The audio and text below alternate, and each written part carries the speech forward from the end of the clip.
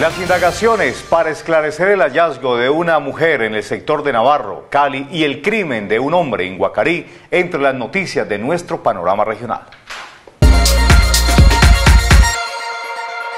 Las autoridades en Cali avanzan con las indagaciones pertinentes que permitan esclarecer la muerte de Lady Joana Morales de 25 años. La mujer quien adelantaba sus estudios de administración de empresas y reportada por su familia como desaparecida desde el pasado 28 de diciembre, fue encontrada muerta en el sector de Navarro. Nosotros, por eso digo, todo está en el marco de la investigación que nosotros estamos realizando. O sea, esta, esta persona, mm, nosotros ya estamos con las diferentes unidades de policía judicial, los investigadores, pues están preguntando, están eh, realizando las entrevistas con las personas allegadas y que nos puedan conducir con, con alguna información para, para con la captura del responsable de este hecho.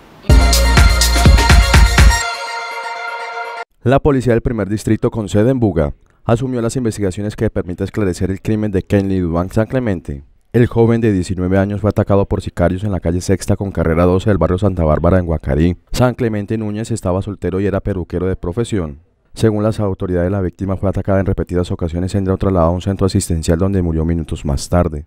Luego su cuerpo fue llevado a medicina legal en Buga, donde le practicaron la necropsia de rigor.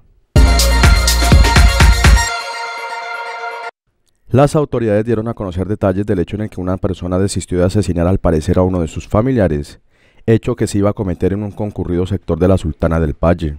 Donde una persona va a atentar contra una pareja de, esposos, un señor y una señora, en un local comercial de una distribuidora de carnes.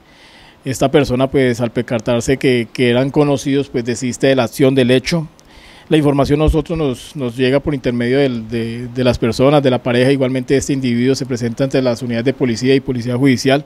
Nosotros inmediatamente iniciamos una investigación judicial donde tenemos que identificarle el autor intelectual de, del, hecho que se había ordenado.